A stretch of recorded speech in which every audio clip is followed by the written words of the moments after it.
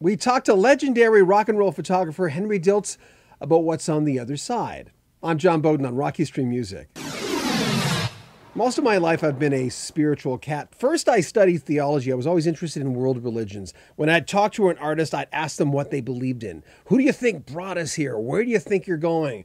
Talk to George Benson about being a Jehovah's Witness. Ravi Shankar about Eastern religions. Before he died, Dan Peek, formerly of America, and why he left the band. I'm probably leaving a lot of people out, but it's something that's always intrigued me. And as much as I enjoy talking to Henry Diltz in the beginning of the interview, where we talk about the Eagles and America and photographing Crosby, Stills, and Nash and the Doors, I really enjoyed the last part of it where we got into religion. The same thing happened, as I mentioned, with George Benson. So we talk about that stuff and a lot more with the great Henry Diltz. You can't die. You just change form. You go to the other side. You walk into the next room. You drop your body, but but your energy remains. Your soul. Your you know you are you you.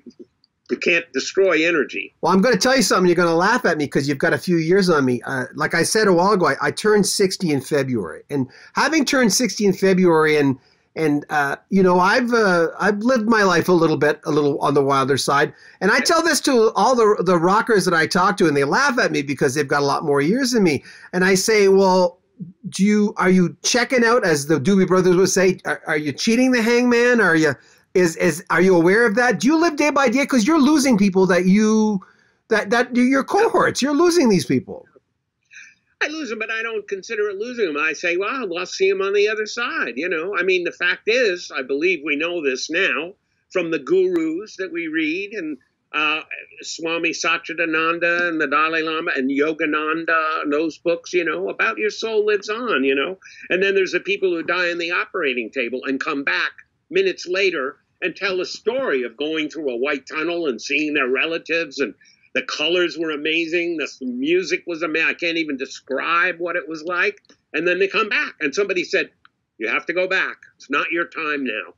And they come back. I mean, there's a there's a psychiatrist who has who has deep deeply hypnotized thousands of people and and taken them back to the time of their last lifetime and their death and what happened after they died and that, because usually we're on the other side for a period of time, probably a hundred years, because we reincarnate with people that we've lived with before, because we have karma with them. You know, because when you come back in your next next lifetime, you want to be with your wife and your kids and your mom and dad and maybe your grandparents all again. You know, you're you're. Try- you're preaching to the choir because I spent the 80s reading Raymond Moody on NDE experiences, I I uh, I immersed myself with all this because I I remember going.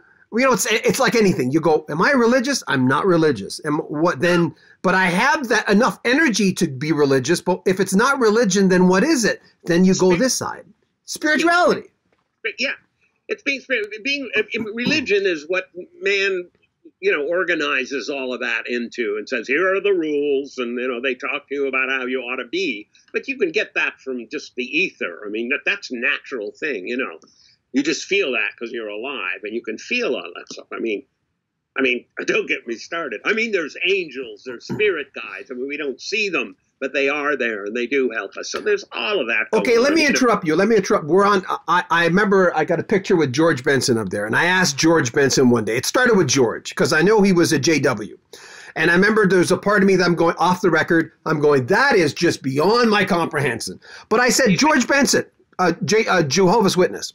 Oh, okay. George Benson. So I came up to George. I'm going to say, George, I'm going to start a series. And, and since it took three freaking months to get this interview, I want, I'm going to ask all the religious and non religious people about what the hell brought them here. He says, no problem. Yeah. And, and I, I was told with George Benson, if he starts sounding like he's getting tired, ask him about being a Jehovah's Witness. You'll have him for another half hour. I'm going, and no disrespect to him at all. I mean, I, I love George. So, and he just said, I said, I said, why are you a Jehovah's Witness? Tell me. And he says, well, it's because I know what every other male JW was thinking at the time. And I asked him to explain it, but he never really did, but he tried. And it was great. So I, I asked Dan Peek the same story. Why'd you leave America? Uh, I asked Randy Meisner, and he gave me a, like a lot of people. So when did you know the way you think now, Henry? When did that start for you, and what made it? What made you think this way? Well, you know, as a kid, I went to I went to uh, not church, but uh, Sunday school. You know, I remember as a little kid going to Sunday school time in church. I sang in church choirs, and that was lovely. I mean, I guess it's something you're saying, "Wow, life is good." I mean, there was this guy Jesus who was amazing, and he taught us how to be good human beings. You know, there's nothing wrong with that. It's all great. You know, and thou shalt not, and you should be this way and that way. But I think you know when I when I became uh, kind of a hippie musician and then a hippie photographer. And I will tell you, in the middle, in about 64 or 5, I picked up Yogananda's book, Autobiography of a Yogi by Paramahansa Yogananda. Right, an orange book. With I have it. I read that, and and it was at the time when I was a full-on musician. I was smoking pot, uh, you know, pretty much every day. But once again, to awaken, we wanted to know, we wanted to feel life more fully, you know. And then I was taking a few psychedelics. I took acid a few times, and wow, I mean, there's way as as um, uh, the Grateful Dead, Jerry, um, that guy, Jerry Garcia, yeah. yeah, that's it. See, names are flying out the window. Jerry Garcia, the first time he took uh, LSD, he said, I knew there was more going on than they were telling us, you know? And that is certainly what you learn, right? So, in the midst of those year or two, sometime in that year or two, I can't remember specifically the day, but I picked up that book somewhere yeah. and read it. And I said, my God, this life can be like yeah. this guy is talking about. Yeah. I, I, I want that. I want to be like that. I want to know about that, you know. So I've been in various meditation groups and talked to various people about it. And, you know, what is, you know, Nam Myoho Renge Kyo Om. And how do you do all that? I do you ever take TM? No, that's all fine. I happen to join a group called Subud. S U B U D. And what's what are they about? Well, they're not about anything except surrendering to God. It's kind of a it's kind of a Muslim thing. It started in Indonesia, and a guy came to the U.S. and taught this. All the men go in one room, all the women in another room. You stand there, and when they say begin, you just you just open up and you feel energy, you feel the universe, and it's not something they're doing to you. It's just you learn to do it over time, yeah. so that at any time you can just say, "Ah, oh, I'm going to plug into that that feeling of being alive." That I'm going to, you know what I mean? And what's and it like, called again? What's it called again? Subud, S U B U D. There's no book. There's no teaching you just plug in. And the, and the idea is to teach you that you you know like you don't have to go to church to get that feeling. You can do it anytime any place. You can just say bring it on. I want to feel that. And it's a way of turning your mind off turning all that off and just feeling the being alive you know? Feeling that spirit that energy of being alive. But let me let me ask you have you have you ever had sorry to interrupt you but have you ever had and this is not about religion but have you had a religious experience? That well, that was always a religious experience. I can have it, you know, every morning in the shower. I can just say, "Oh, thank you." I mean, uh, you know, then I tell you, some years ago, I heard about a lady named Caroline Myss, M Y S S, and she is like a New Age guru, and she could look at a person and say, you know, you're having a problem with your, you know, it's your stomach or your heart or your lungs or whatever. And she, after doing this for a long she was a medical intuitive. Medical intuitive and, yeah. and she learned that the reason she had that was she was electronically accessing their chakra information. It's just something she had a gift. And then she went on to teaching people about that. So she became a big teacher. And i went to three seminars three weekend seminars. Now she yeah, you can read all of her books. There's six or eight books energy anatomy. I'm familiar she, with her yeah, she was on PBS. He was actually on PBS. She's an amazing lady. And what I learned from going to all these seminars was a wake up exercise where you where you energize each chakra in the morning. So since I'm a musician and a photographer now, I don't have to jump out of bed at 7:30 and go somewhere to work. I can get up at 10 o'clock. I can wake up at 10 o'clock and lie there till 11:30. You know, in bed, thinking about each chakra and what that covers you know you being alive other people you know your ego your heart your you know your intention your and I just energize each chakra. That's what she taught me. So, I mean, it's an ongoing thing. You learn and you learn. And I picked up a book about Archangel Metatron. He's he's an archangel. He's the number one archangel. Well, I, I am looking all this stuff up after I talk to you. Okay, I mean, a lady named um, uh, let's see, Vanden Vanden Eynden. Something. Her first name was something else, like Rose Vanden Eynden. Last name E Y N D A N, something like that. Anyway, okay. she wrote a book about angels and archangels, and then she um, w- w- she channeled Archangel Metatron. He talked through her, and she wrote it all down. Here's what I want you to tell the people, and she put it in the second half of her book. And he says, "Dear ones, you know, let me tell you, you know." There, there, there are questions people in her congregation ask. Well, how do we know the angels are there? And how do we know? And what about this? And what happens when we die? And he tells the whole, he tells, talks all of it. It's so wonderful to read. And then you can read that art, you know, you can read uh, autobiography of a yogi. That's the one. I've got that. I, I read it in the 80s. It changed my life. It really did. Yeah. Yeah. And, and then there is Swami Satchidananda. He's the guy who was at Woodstock in the yellow ro- in the orange robe, and he did a wake up exercise, which I missed. But years later, I met him through my friend John Stewart, the folk singer, and he has a book called The Golden Present, and it's got a date for every day. The Golden Presents, Swami Satchidananda, Sat Chid Ananda. And um, he tells a little parable for every day, and you read that, and you, oh, wow, that's so amazing. And you start your day off that way, or read it in the evening. Here's my favorite. He says, We are, of course, we're here to learn. We know that. Therefore, we're all students. But you should think of yourself as the only student, and everybody else is your teacher. Ooh. Yeah, right? I mean, it kind of changes things, you know. It changes your day. Yeah, but for no, for instance, Henry, for you to find uh, for you to find wealth in what you just told me, everything was there, and that's what brought me to spirituality because I was the kid writing in my journal, and when you when you write in your journal, you're writing your journal when you're not feeling very happy. So, and mm. songwriters write songs when they're not very happy sometimes. Sometimes, but was there a time where you ever felt lost, which brought you here? How do you find value in this unless you were? You must have. Been, there must have been a time where you were lost, or was there? No, no, not. I mean, I was really busy. You know, going to college, studying psychology, singing in a coffee house, doing all that. I think the people I sang with, Cyrus Faryar, was in our group, and he was a he was half um, Iranian, half Persian, right. as we say. Yeah. And his father was the Persian uh, education minister under the Tsar, and his mother was a Welsh actress, and he was a philosopher. He was in our like the, the oldest guy in our group, and he would say the most amazing things all the time to me, and I would start writing them down. So he was my first teacher in that way. I think, and he would talk about angels and the Akashic records and yeah. stuff, and then and I would smoke hash with him and we'd talk about life and think about life and I would start yeah it is amazing. I'm I'm getting into this now. I'm starting to think about it. You know, what is this? Why are we yeah, here? yeah. who are we? I mean when you just say that one day you know. Yeah but and then Yogananda and then Caroline Myss and Subud and uh-huh. each thing you know. I mean like any week you, you learn new stuff. Do you ever read things like The Way of Zen by Alan Watts? You ever read stuff like that? I know that book. Yeah. I mean, I've dabbled in. I probably own most of those books. You know. Yeah.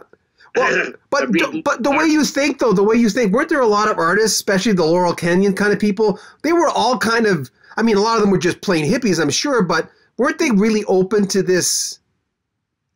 To some extent, some were. I know Cyrus, who I said, you know, yeah. he's the one who introduced me to Subud. This, you know, come on, we're going to this kind of meditation group. Roger McGuinn went to that. Well, his name was Jim McGuinn, and he went to Subud and he changed. You, you could change your name because they say, well, once you become opened and you have this life experience and start feeling things, you change. Now your name, your old nickname. My name used to be Tad, T A D, all my life, Tad. That was your and real this, name? Yeah. Well, my nickname. On my birth certificate, it said Henry. My father's name was Henry, who died when I was nine no one ever called me that until this guy Cyrus, when I was in my middle 20s. I walked into his coffee house. We formed this group eventually. He started calling me Henry. I don't see you as a Tad. I see you as a Henry. So, because our parents name us Yeah. before they even know us Yeah. in most cases. And so, you know, you're you're you're you know you're a Charlie, but really you're a Reginald. I don't know. I, you know, whatever it is, you know. Um, my my Cyrus's wife Rusty changed her name to Renee. I was married to a beautiful lady named Sherry, and she changed her name to Elizabeth, which was much more befitting. She wasn't a Sherry; she was Elizabeth. She became a, a lady. You know, you, it's it's you pick a, a name that fits you better as you change. I do. you- I do agree with that, but, but don't take this personally. Uh, Yeah. I ask many people, half the people, when I get a, a vibe with them. Okay, where are we going when we die? Where are you going when you die? oh, What do you think?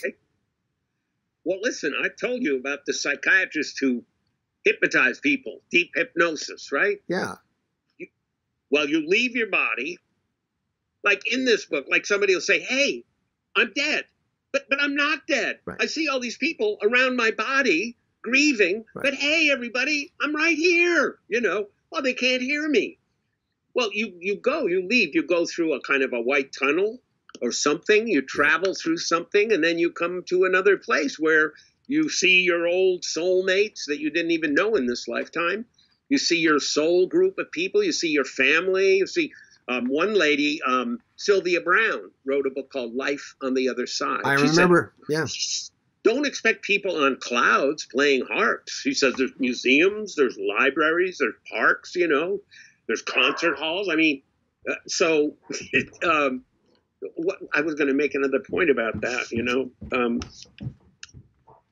but you go over there and, and you learn, you keep learning, you know, and then you come back down for another time on, on Earth. It's all a, a long process of learning and becoming and but that's a question a lot of people ask, though, Henry. Sorry to interrupt you, but but uh, people have come up to me, and I've been in all. I've been, I used to be. I was a Buddhist for like eight years, and I still practice a lot of that. Uh, I, I, uh, my, my daughter, my autistic daughter Wonder just came in. That do- dog's very, uh, uh, uh, uh, the dog's very protective of her. But I've at- been asked, and I'm sure you have. People would ask me, "Hey, John Beaudin, do you want to come back?" And I'm going, "Why wouldn't I? I'd love to come back. It's this has been fun." You know. yeah. What, what do you say to that? Well, I think we learn lessons, and like I said, half the people in the world are in kindergarten, maybe three quarters. I don't know. A lot of people. They're beginners. They're beginners, intermediate, and advanced. I think when you get to the other side, according to this book, Journey of Souls. That's the book with this psychiatrist. I can't think of his name. I can look it up. Journey of Souls. Yeah, you can. And um, he, he, I mean, when you get into the middle of the book, he's talking about people are describing what it's like between lives.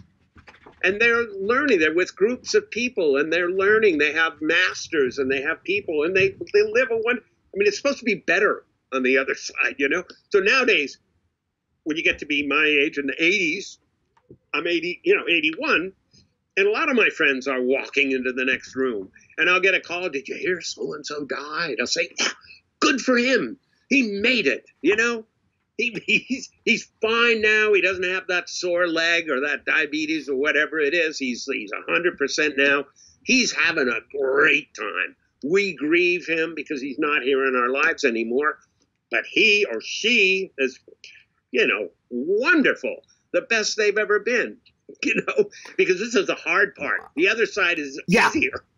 I had a friend. I had a friend uh, years ago, Henry, who who came up to me and says, uh, "Why, why do I not feel anything when I go to a funeral? I must be a sociopath." Or and and and uh, he came to the conclusion after reading. Someone told him. Maybe you're just a spiritual guy, and maybe intrinsically you're pretty happy for them. And he found he's the most spiritual cat I know, because his body was telling him that. Yeah. Well, I, I don't usually go to those. Uh, I mean, if it's one of my very, very best soulmate friends, I would go, you know.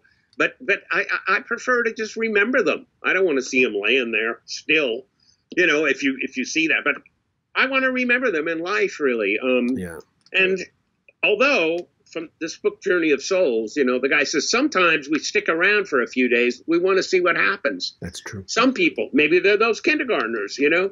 I want to see who comes to my funeral, you know. Oh, I don't. I don't think I have it. There's a when my brother passed away. Um, I just found a picture.